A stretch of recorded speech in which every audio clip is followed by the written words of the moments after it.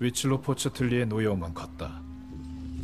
재물이 태양신에게 헌정된 내방을 지날 때마다 하늘에서 태양이 사라졌다가 나타나곤 했다.